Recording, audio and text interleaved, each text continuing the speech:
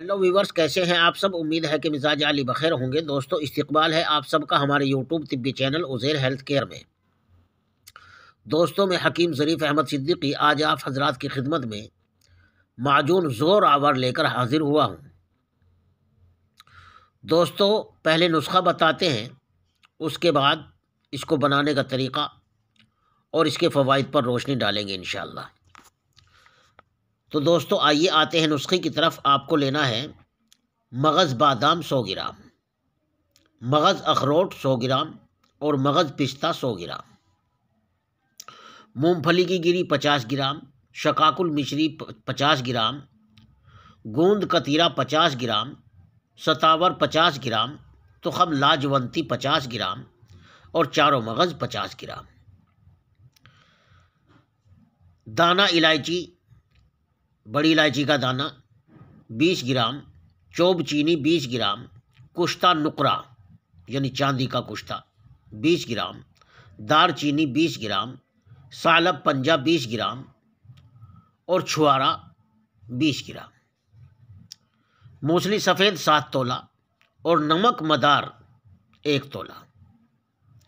दोस्तों, सारी चीज़ एक नंबर लेकर के इनको सुखा करके अच्छी तरह से इनका पाउडर बना लें, बारीक सफ़ूफ बना लें।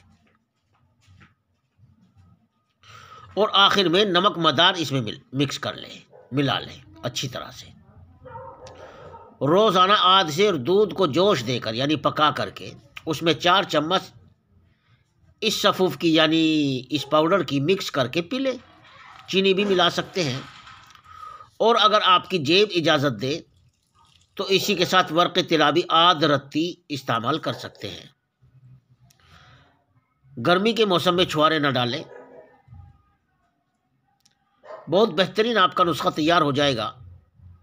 जो जो कि बेहद मुकवी बा, यानी मर्दाना ताकत पैदा करने वाला और क़वत ख़ास है। मादा हयात को, यानी वीर्य को अधिक मात्रा में पैदा करता है।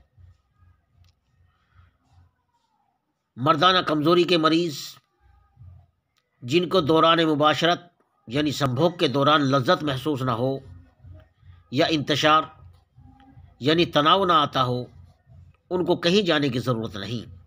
ख़ुद बनाकर फ़ायदा हासिल करें। क़वत व ताकत और इंतशार का अनमोल ख़जाना है। मादा तोलीद की ख़राबी, यानी वीर्य की ख़राबी पस सेल्स के लिए मायानाज बारहा बार का तजर्बा शुदा अक्सरी दवा है। दोस्तों बनाएँ और फ़ायदा उठाएँ।